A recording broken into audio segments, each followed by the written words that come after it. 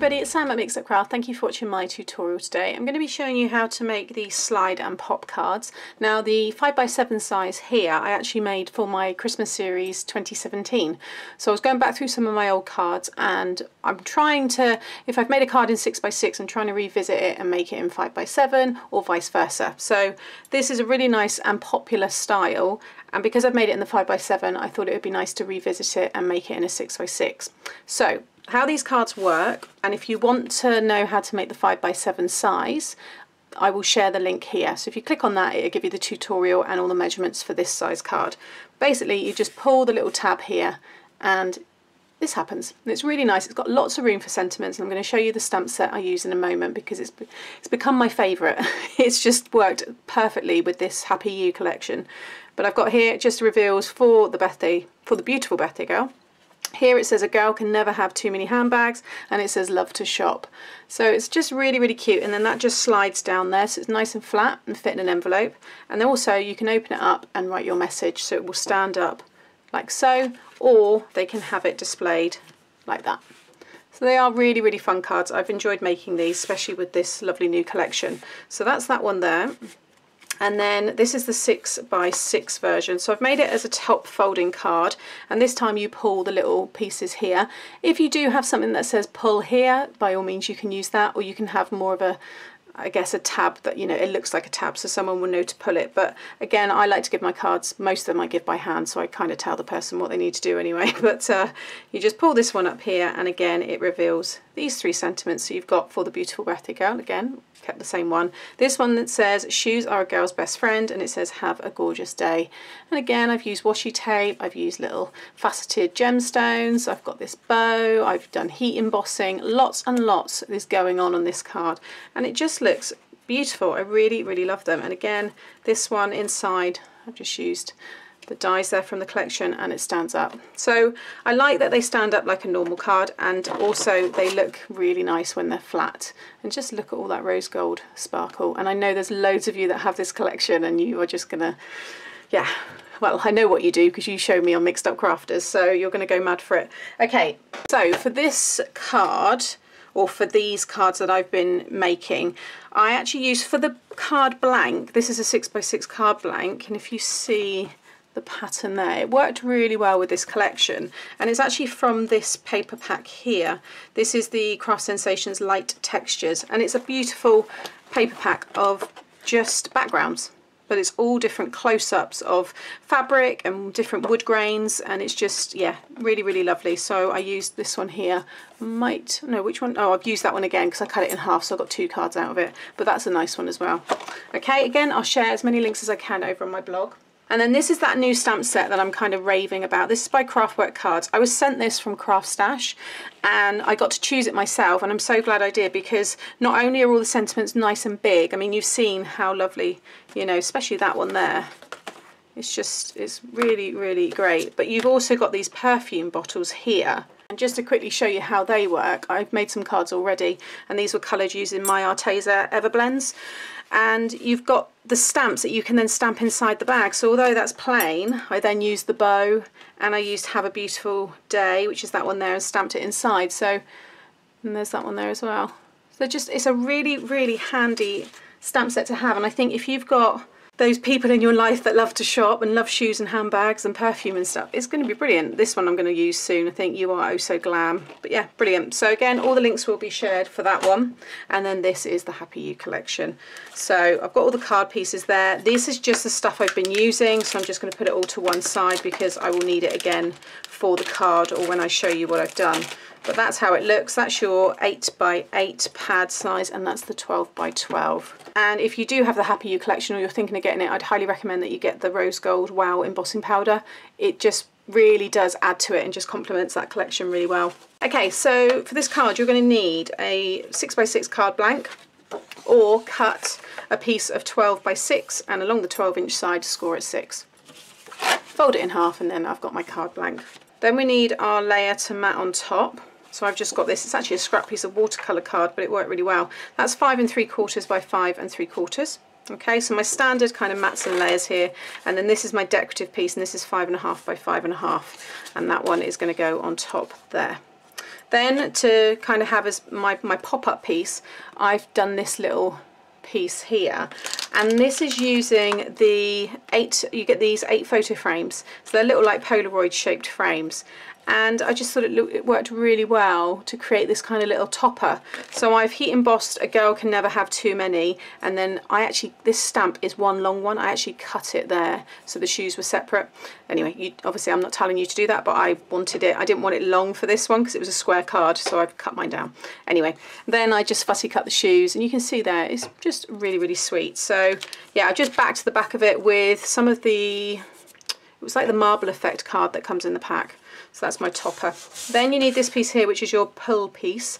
And this is three and a quarter by four and five eighths. Okay, so first of all, we're going to start off with our five and a half by five and a half patterned piece. And you want to flip it over. And, and what you're going to do is you're going to come in at one inch from each side and just mark a pencil mark there and come in at one inch and mark a pencil mark okay and I'm going to use my grid so if I line my cardstock up here I know that each of these squares is one inch so I can just get my ruler line it up with the one and the one and also then it just kind of lines up with that pencil mark.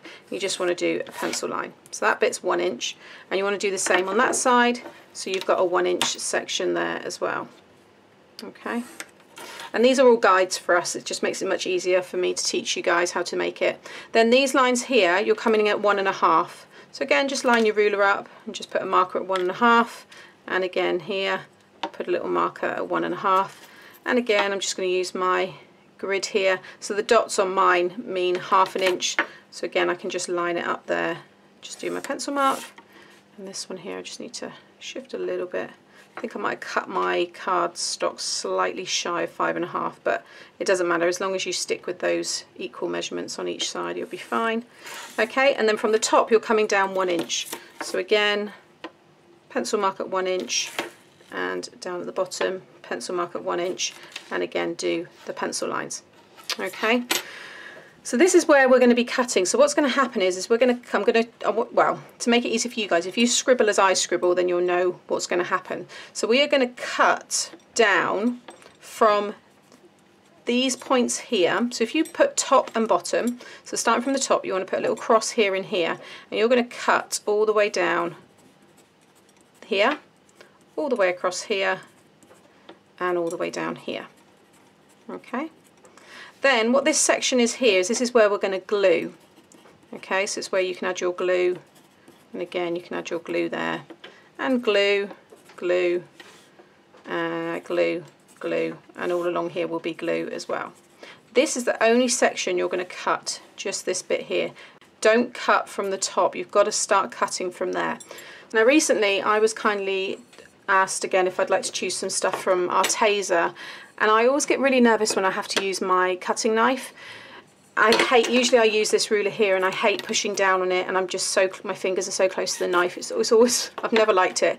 So they had the metal triangle ruler and I just thought this is going to be really good because I can hold it at the top and the knife isn't going to, you know, I'm not going to risk cutting my fingers.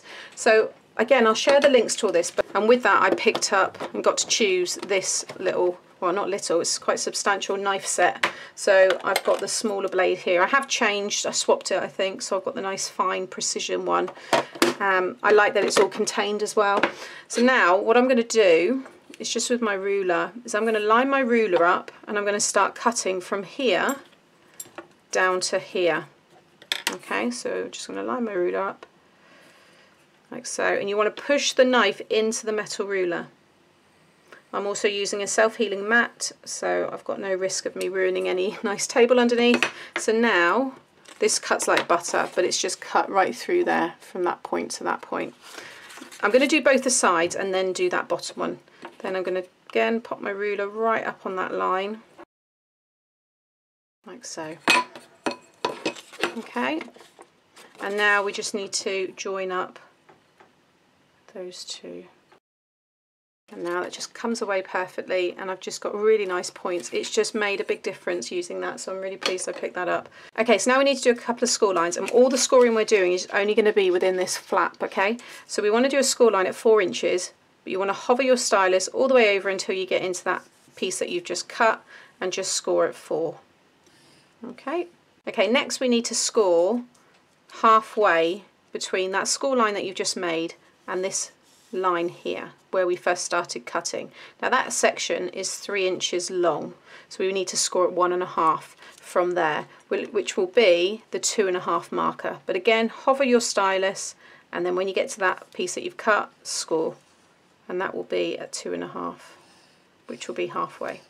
And then you want to do the last score line will be that one inch marker between the two crosses. Okay, like so. Flip it over and you want to fold that one back, the middle score line as a mountain, and then that last score line as a valley. Okay, so you'll have a valley, mountain and valley fold and that will give you this mechanism. Okay, so it's very easy to do as long as you just follow that system there. Okay, next we want our mat layer and that piece we just cut and this will sit over the top of it. So make sure you center it, okay, so you've got a nice even border and you just want to imagine that you've pulled this piece up, okay, so have it about halfway, your triangle, if I just bring it to the side, you can see there how I've got it, okay. So again, lie that down, roughly bring that up, and what you want to do is you want to mark with a pencil just a line roughly there and on each side. You don't need to do the whole thing. You make sure you do it lightly so you can rub it out.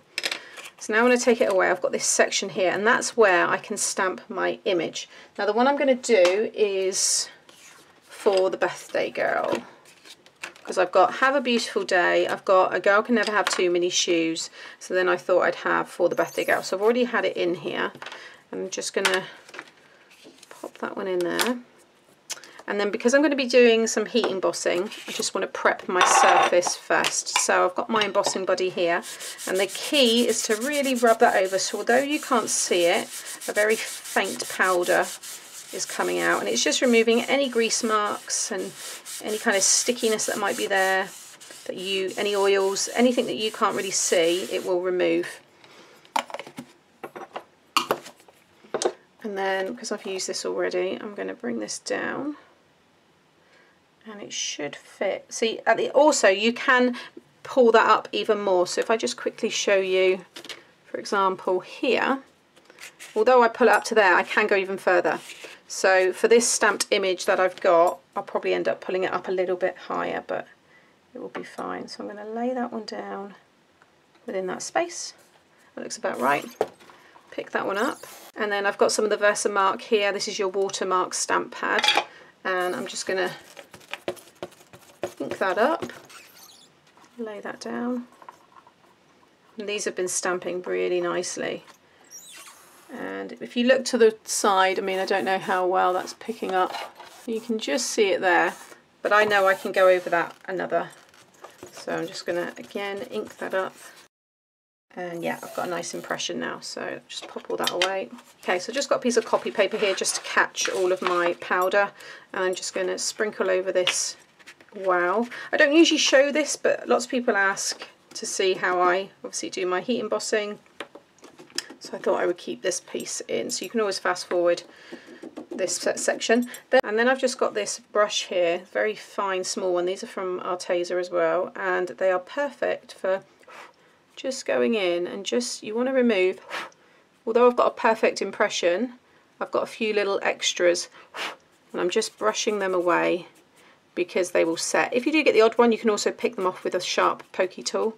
But this is great because I can get in to any tiny little bits which you probably can't see at all on camera, but they are there and they bug me if they're there when I've heat set it.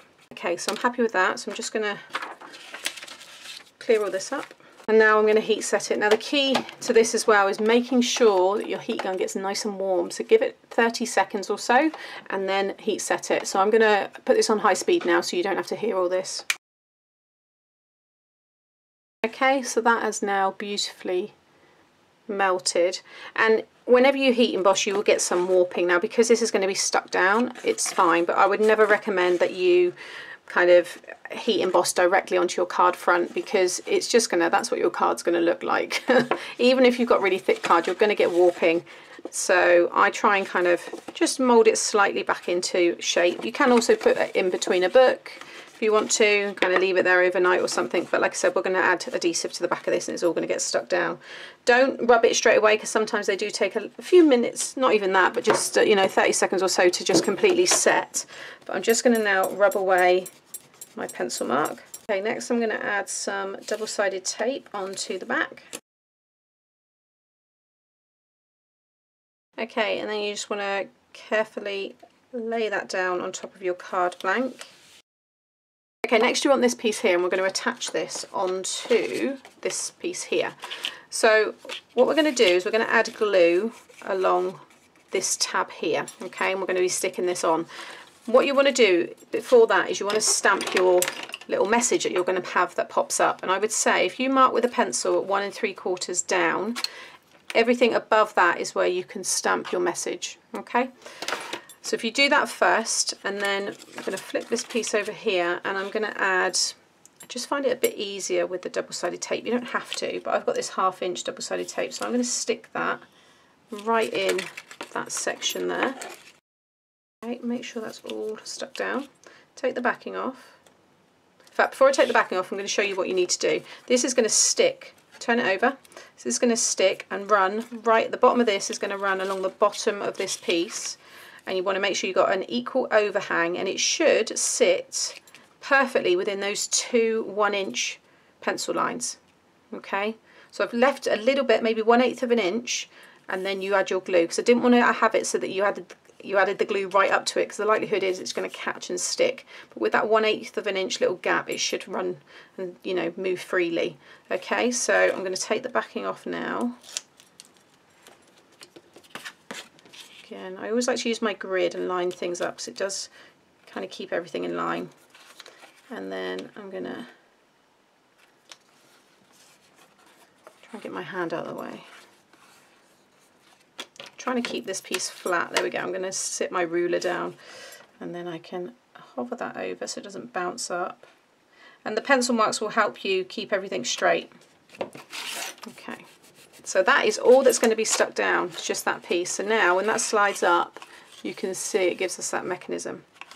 Okay, and it should. Obviously there's another thing as well, you want to make sure that whatever you stamp doesn't kind of poke out, because otherwise you could have like that poking out, for example. But I've done it just so that everything is just concealed and you've got about a quarter of an inch overhang there with the tab. Then we're going to be sticking this now onto the card like that.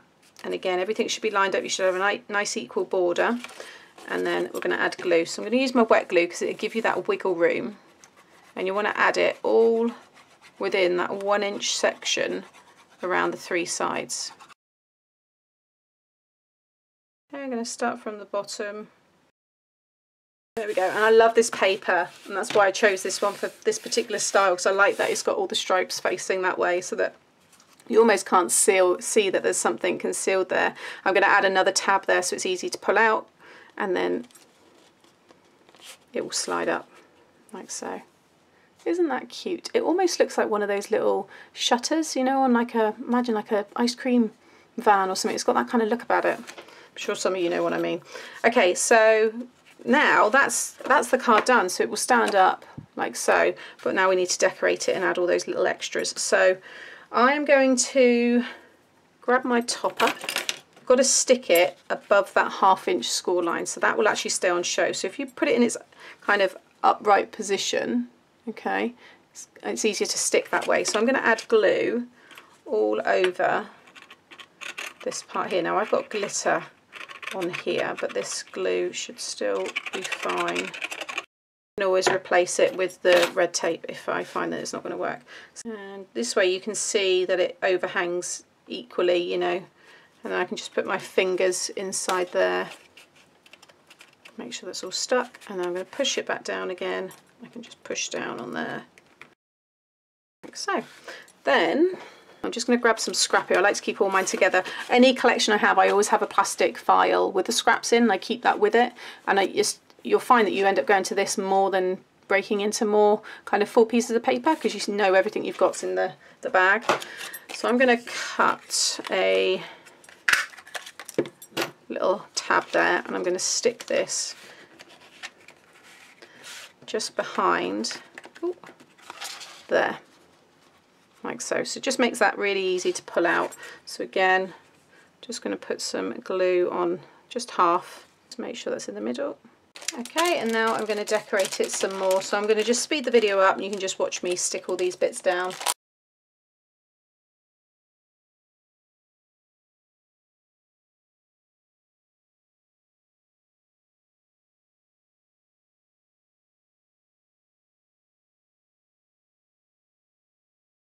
Okay, so there is my finished card. I have stuck down the little bow and then I've run some washi tape there, but I've also die cut this die here, which comes in the die set. I need to say that heart doesn't come in it, just a small heart. This is one that I already had, but it goes well with this collection, so I put it in there so I remember to use it. But when this one die cuts, it die cuts out this frame and then the three hearts. So I've just die cut it a few times and I've put the hearts, they fit perfectly over the hearts on the washi tape. So I just thought it added some more sparkle. And obviously we've got our little tab there now and that pulls up. So you see what I mean? It can come up much higher. So if you do have a bigger message, you have got the room, but mm, it, I mean, that's it. Mine will kind of sit there but I just love it. I love all the sparkle. I love all the different areas you've got. You don't have to put as many sentiments on it as I have, but I actually quite like it. It's a great card if you want to send someone something really motivational because they can just see all these different, you know, lovely kind of quotes and stuff. So there's that one. Again, show you the 5x7 version, which again, I really love. I just think it's super fun. And that's the other style and how I decorated the other 6x6 and again just pulls up there. And this one I've done circular as well which of course you would have known and seen but I didn't talk about it. But yeah you can add different shapes. And if you do look at the Santa one that I done last year that's not even a shape. That's just little images that I fussy cut. So yeah I really really like this. It was nice to revisit um, an old card style. I hope you enjoy it. I hope you give it a go. As always share over on the Mixed Up Crafters Facebook group. And uh, yeah give this video a thumbs up if you've enjoyed it and subscribe to my channel so you get to see more. Thanks for watching. Bye Bye.